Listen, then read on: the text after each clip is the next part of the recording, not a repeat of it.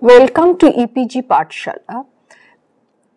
This is your module on the short stories of Eudora Welty. I am Shormila Mojumdar, Associate Professor, Department of English, University of Kalyani, West Bengal.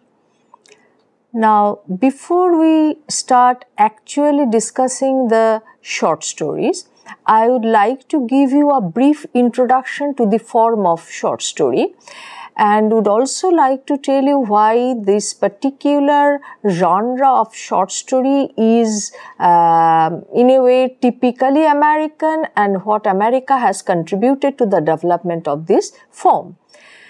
Now you know if you think the short story is a story which is short, you are not really hitting the bullseye. Short story is a literary genre uh, which is different from uh, the novel, the novella, and various other kinds of uh, fiction. Now, we will start, begin with uh, concentrating on the difference between a novel and a short story. Probably that will give you some idea about the uh, ideological underpinnings of short story, about the structure, about the stylistics of the um, of the short story form. And uh, before that, let us just have a quickly look at the biographical details of the author who is going to be discussed in this module. It's Eudora Welty. So, Eudora Welty was born on 13th April 1909 at Jackson, Mississippi. Her parents were Christian Webb Welty. Uh, he, he, was a, an insurance executive and Chestina Andrews Welty her mother, she was a school teacher. Eudora Welty was educated at Mississippi University for Women, Columbia Business School, University of Wisconsin-Madison. She found employment as publicity agent for Works Progress Association in Mississippi, traveled into the interiors of Mississippi witnessing people from different walks of life. She was a skilled photographer caught effects of depression era on rural poor. Photographs were later published as collections One Time, One Place in 1971 and Photographs 1989. Now, uh, let me get back to the uh, structure, the definition, the structure and stylistic requirements of a short story. Uh, you see, uh, the short story as Edgar Allan Poe has kind of defined is, is a piece of fiction which can be read at one single sitting. Uh, but that is rather arbitrary. What probably he meant was that that short story should be short enough to engage a reader's attention at one single stretch. Now you see, uh, a reader's attention can last for 30 minutes and two, uh, 2 hours. Without going into this, we can see that short stories are short, shorter than an ordinary novel. So, an ordinary short story is shorter than an ordinary novel. And what I am arguing is that uh, because the short stories are shorter than novels, there are certain requirements which are imposed upon the short story for by the sheer brevity of the form. For example, novels can have um, uh, a very long period of time to cover. For example, um, 50 years, sometimes even 100 years, it's possible. But in short story, it's not possible because it has very little space to deal with.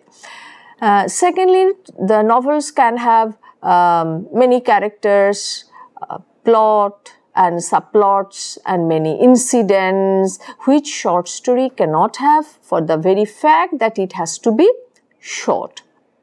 Now you see, Eudora Welty was primarily a short story writer and we will go into uh, the details of his of her short story collections and talk about how she chose to be a short story writer and why it was so important because she was an American and then go into the st stories uh, as far as practicable. Uh, the first short story that was published was called Death of a Traveling Salesman. It was in 1936.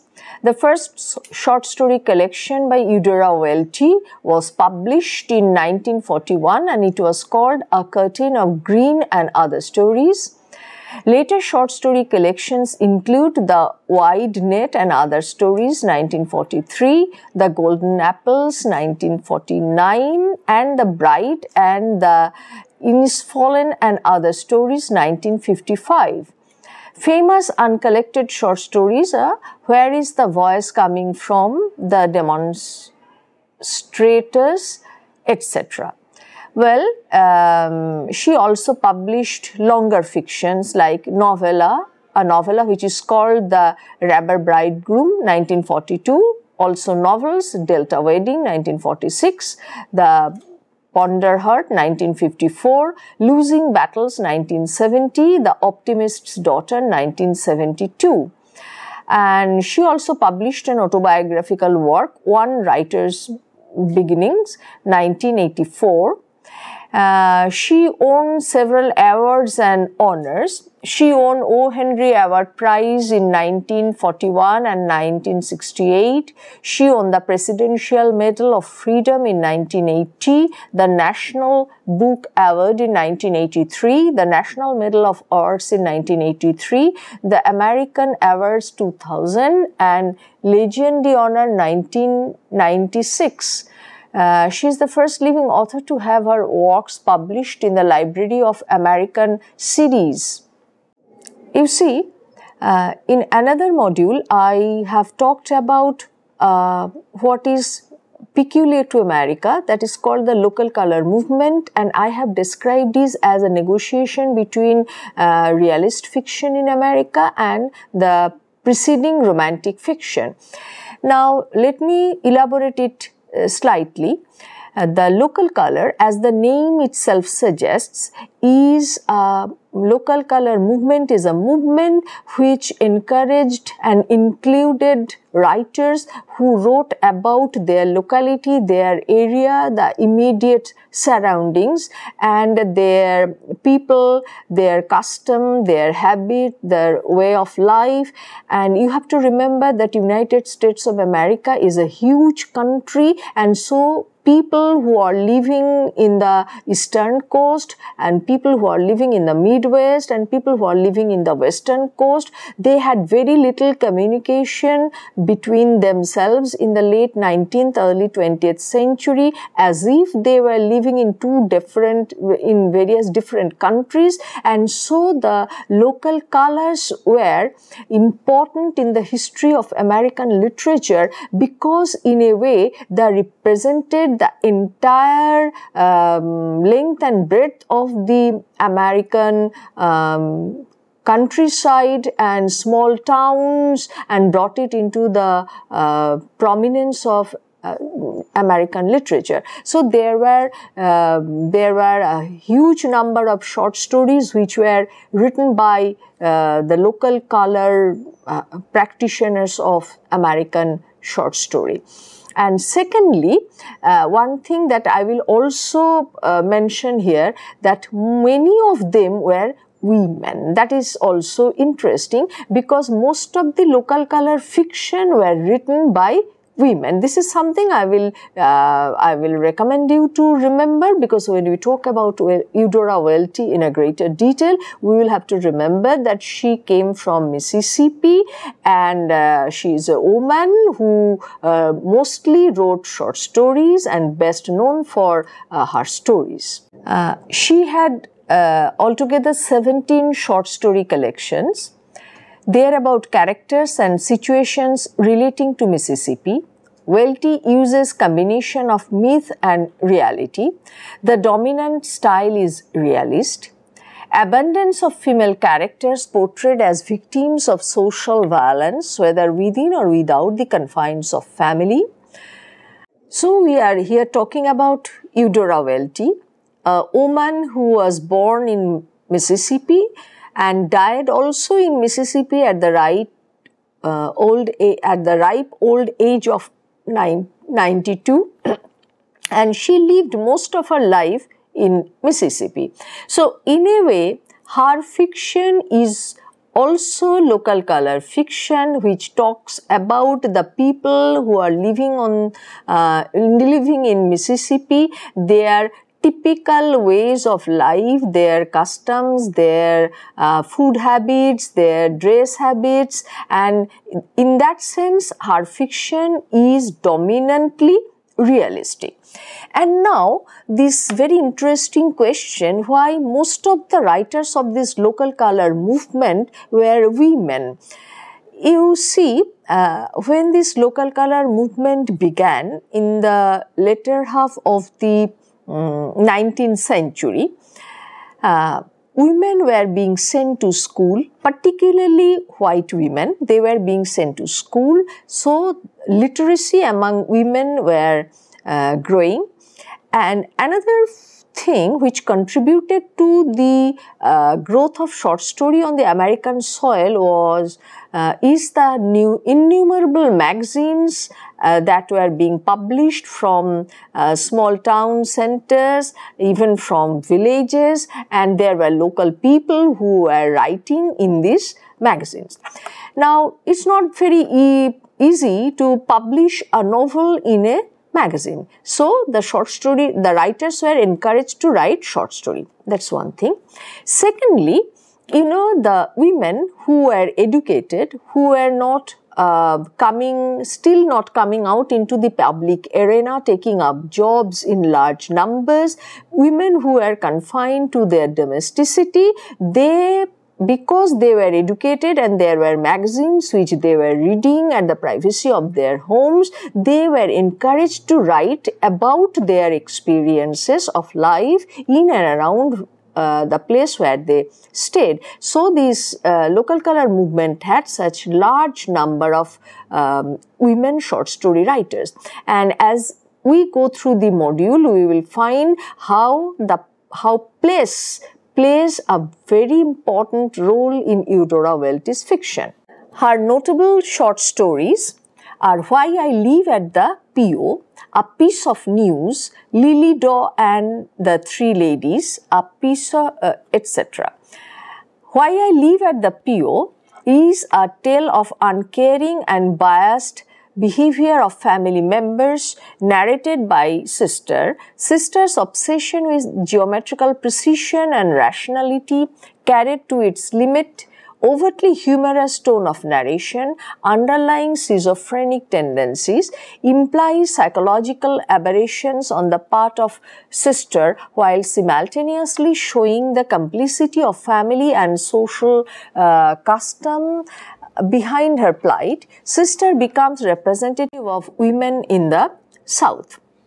Now, as I was telling you, uh, in Eudora Welty's fiction, the place is very important. And something again I will remind you that in the 19th century you had writers mostly from the eastern part of the uh, country. That is people who lived in and around um, New York, Massachusetts, Boston. And in the 19th century, there was this great movement towards the frontier, as a result of which the frontier was declared closed in 1890. So, you see, when Eudora Welty was writing uh, in the early 20th century, the frontier has just closed. And you know, people from other parts of the United States, from the Midwest, from the South, they were coming up in a fairly big way to contribute to American literature. Because in a previous module, um, we have talked about Willa Cather and she was from the Midwest. And in a way, we talked about a novel, but though we talked about a novel, we can clearly see how the place held a very important uh, important position in the novel. The place the nebraska prairies almost becomes a character with which the major two major characters they interact. And eudora welty also comes from the american south so far not very adequately represented in american literature apart from in the uh, slave narratives. And here is a white woman coming from the south uh, coming from mississippi and writing about uh, life in mississippi. So uh, two important things are rather three important things are there in her um, fiction. One is the centrality of the place. The other is human relationship.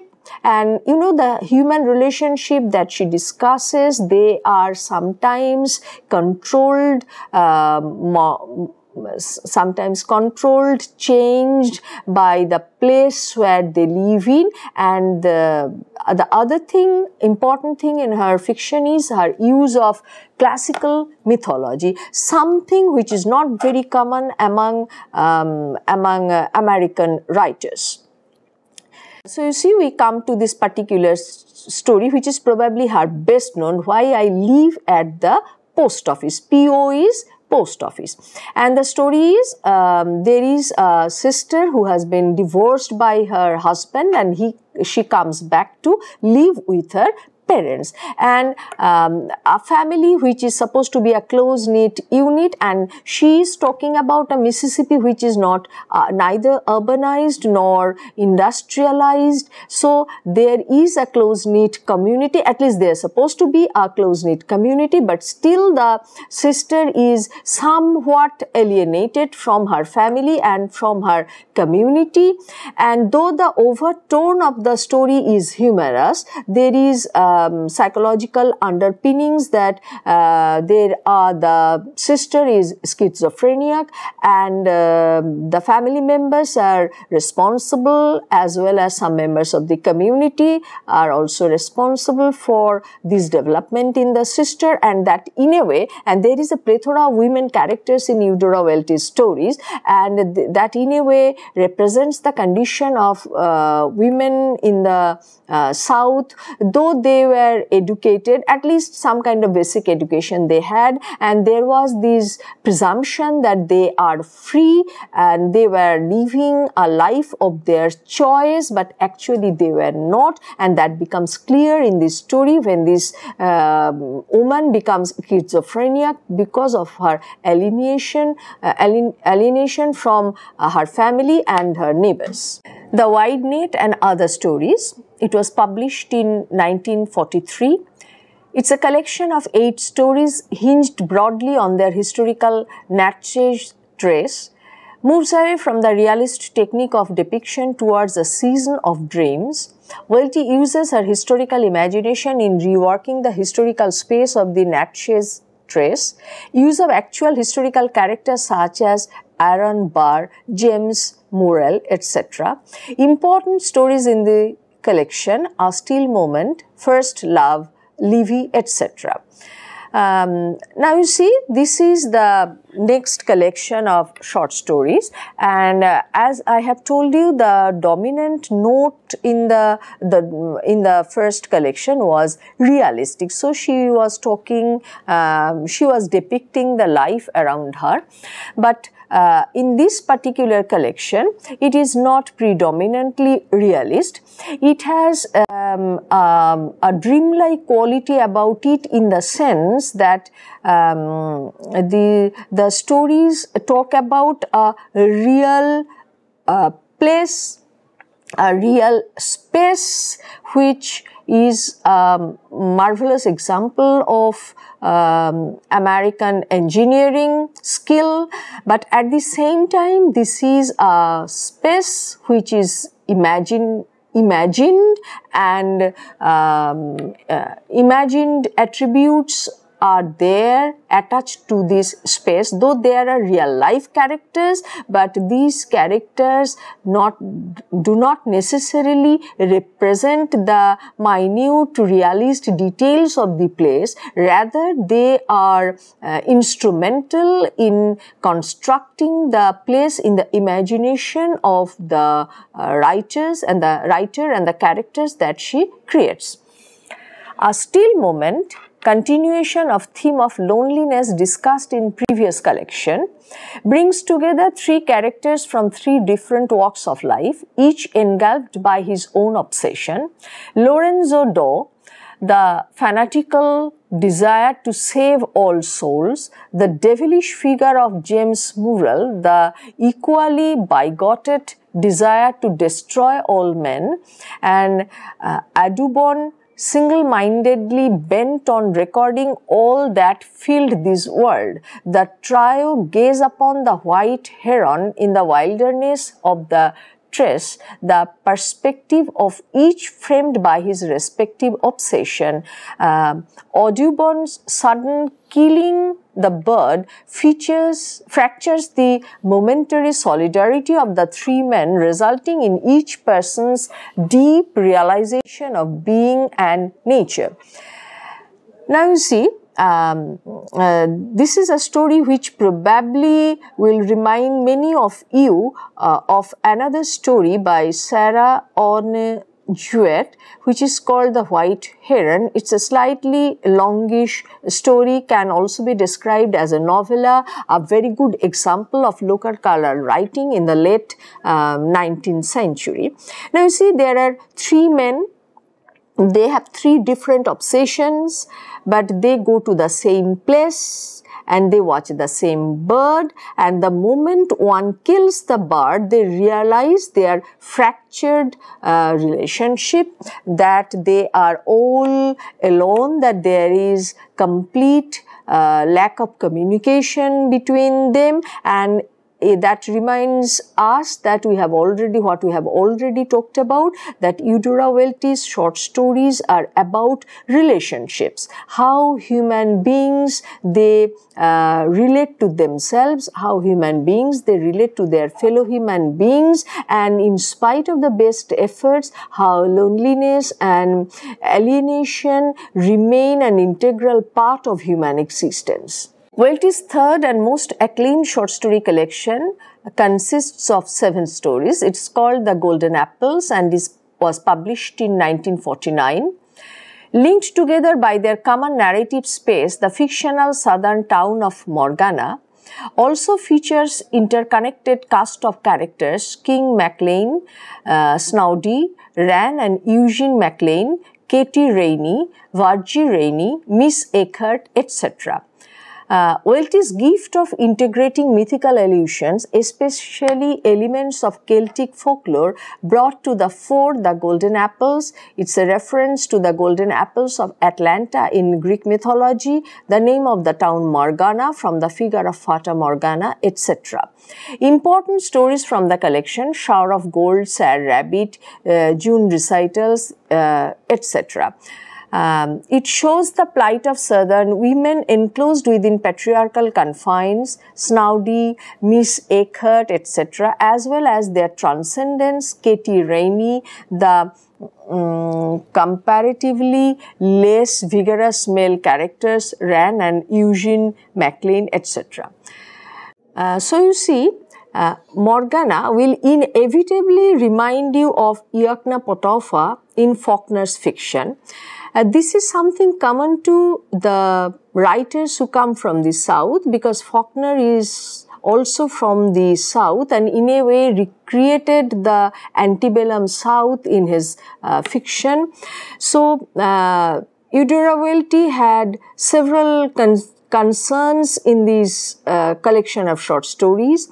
One is the, the American South, the there is the uh, consideration of women from the south, how they are confined to their domestic spaces, how they are oppressed by the social customs.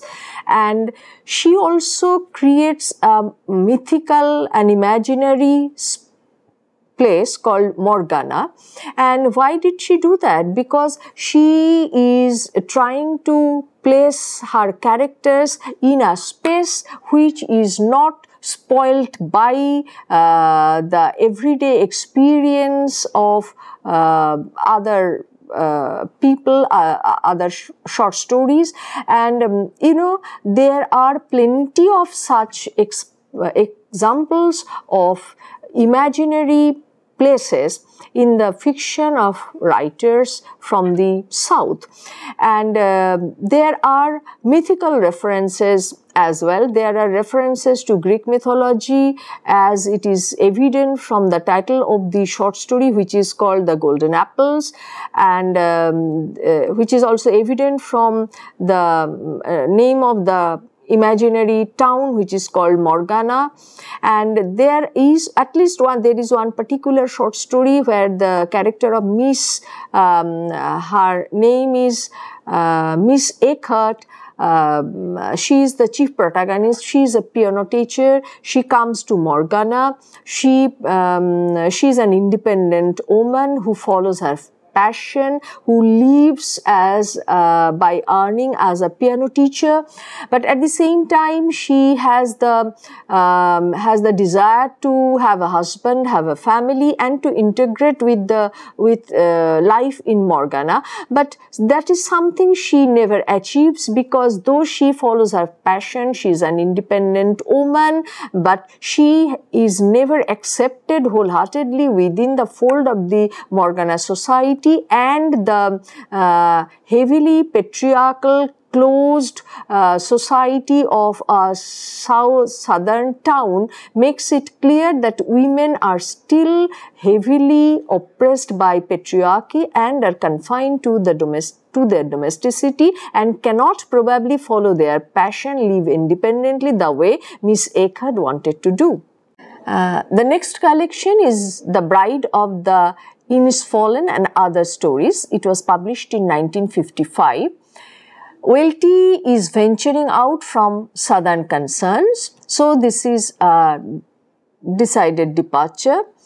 Uh, she brings in characters who are perfect outsiders to southern societies a couple with a man from the east and the woman from the midwest in no place for you my love and a southern girl returning to the south after being brought up elsewhere in kin also featuring innovative changes in narrative technique, the subtle suggestive nature of language chillingly brought to the fore in The Burning, a story drawing on the Civil War and its effects on the defeated southern households. Circe, Welty's first explicit employment of Greek mythology, the advancements in narrative technique and handling of subject matter suggestive of the move from innocence to experience, also a feature of the development of Welty's longer fiction uh, with time. So you see, um, this is a book which is which in which she takes a definite career turn because she comes out of her southern concerns. That's one thing. And secondly there are characters who are not southerners. Uh, at least one comes from the east one comes from the midwest. And there is the story of a girl who is brought up elsewhere and uh, comes back to uh, comes back to south.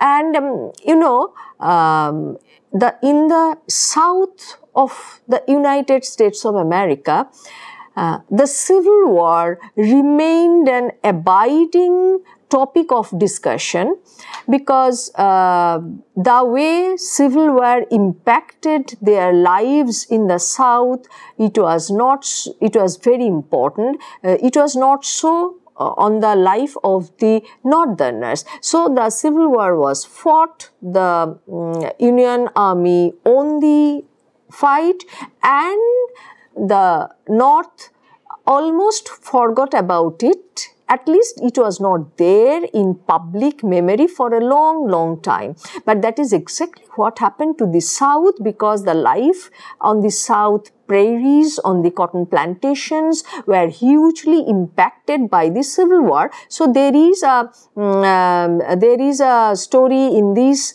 um, in this collection which is called the burning uh, which which which draws on the experience of the civil war and its effect on the defeated southern uh, households. And uh, i will again remind you of uh, william faulkner who continuously talked about the antebellum South, sometimes imaginatively reconstructed it and showed the deep scar that the Civil War left on the minds of the Southerners, their loss, their sense of loss of Eden for them. So, uh, you see, to sum up, uh, what I can say is that Eudora, there are a couple of things that is to be uh, remembered about Eudora Welty because I argued that in America short story uh, the form of short story is important. Probably this is the only form that they have invented on their soil because novel poetry, all kinds of poetry, um, they were derivative forms of literature. Short story is the only form they invented and there are certain situations in America which were particularly conducive to the writing of this um, short story.